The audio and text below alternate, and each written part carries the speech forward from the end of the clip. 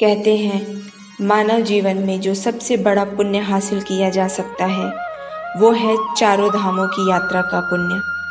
ना इससे बड़ा कोई पुण्य है, ना इससे महान कोई यात्रा। मैं अपनी भक्ति और भावनाएँ लेकर जगत के नाथ, प्रभु जगन्नाथ के धाम, श्री जगन्नाथपुरी को प्रणाम करती हूँ। भगवान नारायण, चार अलग अलग रूपों में भारत के चारों दिशाओं में विद्यमान है। श्री जगन्नाथपुरी एक ऐसा ही पावन धाम है, जहाँ प्रभु जगन्नाथ के रूप में साक्षात भगवान विष्णु विराजमान है।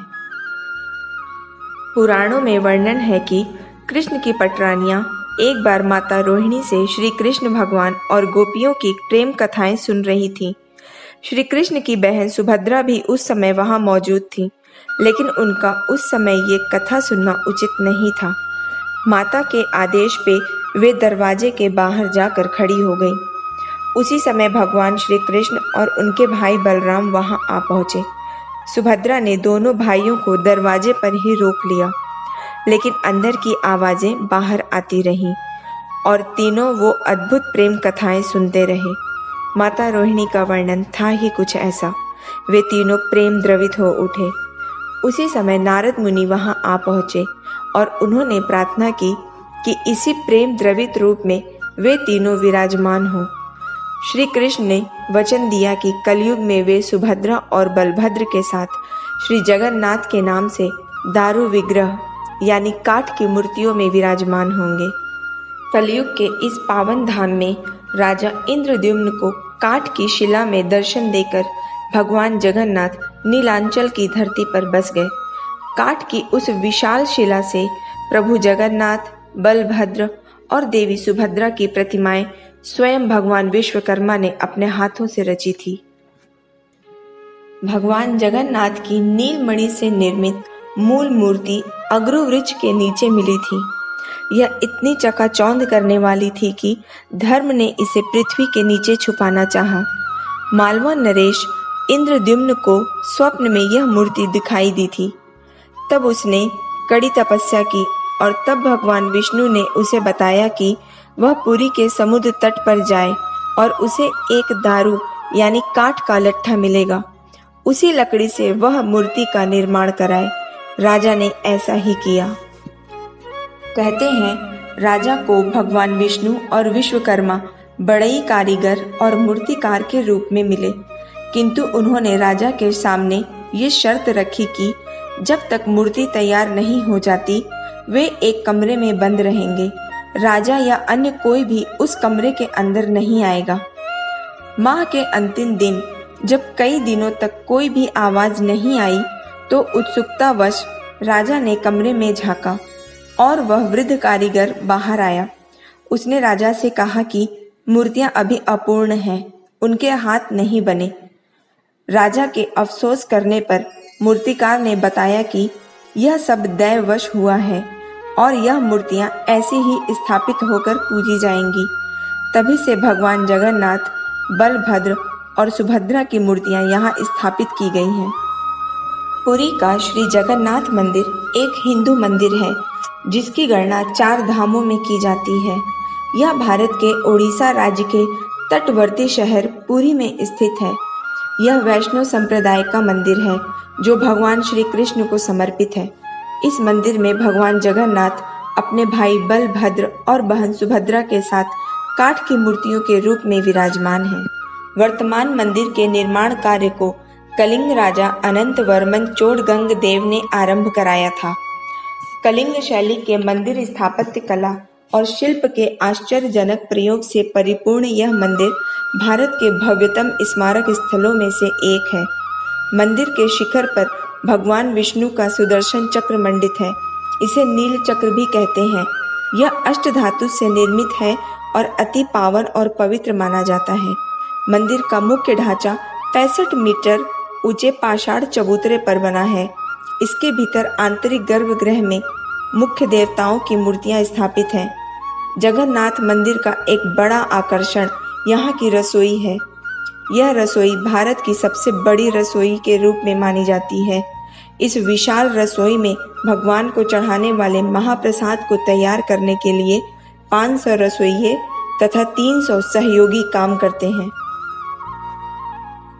भगवान जगन्नाथ, देवी सुभद्रा और बलभद्र की प्रतिमाएँ उसी साल बदली जाती हैं जब साल में आषाढ़ के दो महीने आते हैं, उन्नीस साल में यह अवसर आता है।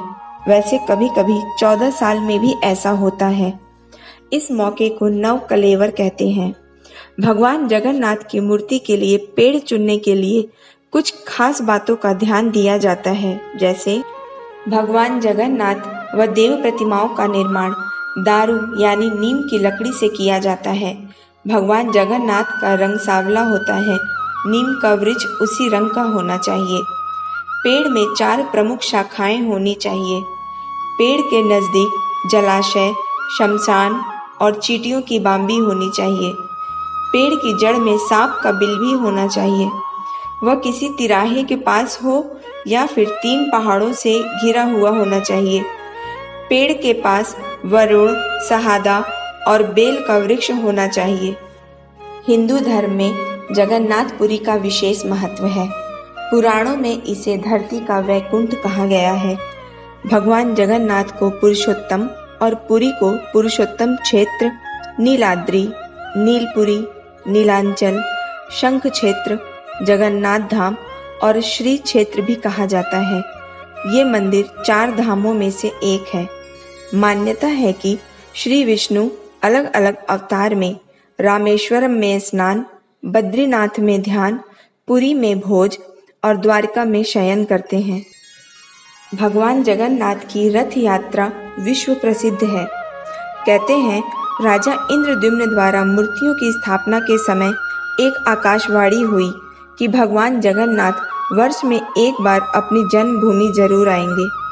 स्कंद पुराण के उत्कल खंड के अनुसार राजा इंद्रद्युम्न ने आषाढ़ शुक्ल द्वितीय के दिन प्रभु के लिए उनकी जन्मभूमि जाने के लिए व्यवस्था की, तभी से ये परंपरा रथ यात्रा के रूप में चली आ रही है। जगन्नाथ मंदिर का वार्षिक रथ यात्रा महोत्सव जग प्रसिद्ध है। यात्रा की तैयारी श्री कृष्ण, सुभद्रा और बलराम के रथों के निर्माण के साथ अक्षय तृतीया पर आरंभ होती है। ये रथ दारू नामक लकड़ियों से निर्मित किए जाते हैं, जो नीम के पेड़ की लकड़ी है। इन विशेष लकड़ियों को चार महीने पहले से ही बसंत पंचमी के दिन से इकट्ठा किया जाता है। इन तीनों रथों के निर्माण विधि की एक विशेषता ये है कि इनमें इस्तेमाल की जाने वाली लकड़ियों में एक भी कील नहीं ठोकी जाती। इन्हें रस्सियों से बाँध बाँध कर तैयार किया जाता है। आषाढ़ महीने की द्वितीय तिथि को इस दस दिन चलने वाले रथ यात्रा का आरंभ होता है। भगवान जगन्नाथ के रथ को नंदी घोष या गरुड़ ध्वज कहा जाता है। इसमें सोलह पहिए होते हैं और ये 45 फीट ऊँचा होता है। इस रथ में 832 लकड़ी के टुकड़े इस्तेमाल होते हैं। रथ को लाल और पीले कपड़े से ढका जाता है। इस रथ का सारथी है दारुक और इसकी ध्वजा का नाम त्रैलोक मोहिनी है। इसमें शंख, बलाहक, श्वेत और हरिदाश्व नाम के चार सफ़ेद घोड़े जोते जाते हैं। रथ की रक्षा के लिए सुदर्शन स्तंभ भी होता है। रथ को खींचने वाली रस्सी शंख चूर्ण कहलाती है, जो एक प्रकार के नाक का नाम है। देवी सुभद्रा के रथ को दर्प दलन कहते हैं। इस रथ पर लाल और काले कपड़े का इस्तेमाल किया जाता है। जय दुर्गा इसके रक्षक और अर्जुन इसके सारथी हैं। इस रथ की द्वारपाल गंगा और यमुना होती हैं। इनके रथ के ध्वज का नाम नंदविका है। इनके रथ में लाल रंग के चार घोड़े होते हैं। इस रथ को खींचने वाली रस्सी का नाम स्वर्णचूड़ है। इस रथ में पाँच सौ तिरानवे टुकड़े लगे होते हैं। बलभद्र के रथ का नाम ताल ध्वज है। इसमें चौदह पहिए होते हैं, जो लाल हरे रंग के कपड़े व लकड़ी के सात सौ तिरसठ टुकड़ों से बना होता है। इस रथ के रक्षक वासुदेव और सारथी मताली हैं। इनके रथ की ध्वजा का नाम उनानी है। इस रथ में काले रंग के चार घोड़े लगे होते हैं। नंद और सुनंद नाम के दो द्वारपाल होते हैं। रथ की रक्षा के लिए हल और मुसल भी होता है। इस रथ को खींचने वाली रस्सी का नाम वासुकी है, जो एक नाग का नाम है। ऐसा कहा जाता है कि रथ यात्रा के ज़रिए भगवान मौसी के घर जनकपुर जाते हैं। जगन्नाथ मंदिर के विषय में बहुत से चमत्कारिक बातें भी हैं। जैसे, श्री जगन्नाथ मंदिर के ऊपर स्थापित लाल ध्वज सदैव हवा के विपरीत दिशा में लहराता है। ऐसा किस कारण होता है, ये कोई नहीं जानता। गुंबद की छाया नहीं बनती। यह दुनिया का सबसे भव्य और ऊँचा मंदिर है। यह मंदिर चार लाख वर्ग फुट में फैला है और इसकी ऊंचाई 214 फुट है। मंदिर के पास खड़े रहकर इसका गुंबद देख पाना असंभव है। मुख्य गुंबद की छाया दिन के किसी भी समय अदृश्य ही रहती है। चमत्कारिक सुदर्शन चक्र। पुरी में किसी भी स्थान से आप मंदिर के शीर्ष पर लगे सुदर्शन चक्र को देखेंगे तो वह आपको सदैव अपने सामने ही लगा दिखेगा। इसे नील चक्र भी कहते हैं। यह अष्ट धातु से निर्मित है। हवा की दिशा।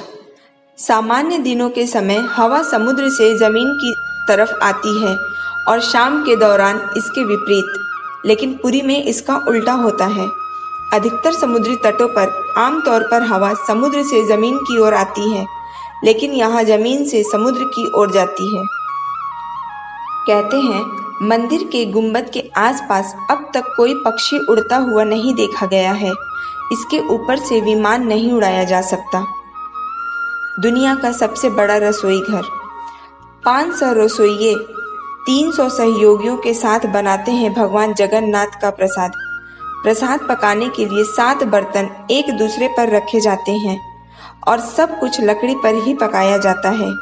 इस प्रक्रिया में शीर्ष बर्तन में सामग्री सबसे पहले पकती है, अर्थात सबसे ऊपर रखे बर्तन का खाना सबसे पहले पक जाता है। समुद्र की ध्वनि। कहते हैं, यहाँ मंदिर के अंदर पहला कदम रखते ही समुद्र के लहरों की आवाज़ सुनाई देनी बंद हो जाती है। वहीं मंदिर के बाहर कदम रखते ही लहरों की स्पष्ट ध्वनि सुनी जा सकती है। भगवान जगन्नाथ, जगत के नाथ हैं। इनके दर्शन से बड़ा कोई महाप्रसाद नहीं।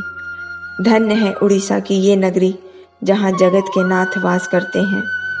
हमारी यात्रा का सौभाग्य है कि हमने आज इस पावन मंदिर और तीर्थ स्थल के दर्शन किए।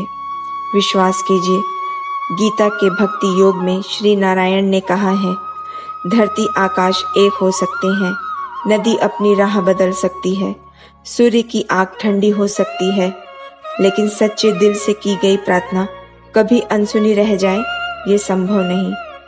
हमारी प्रार्थनाओं का ईश्वर के पास एक ही उत्तर है, तथास्तु।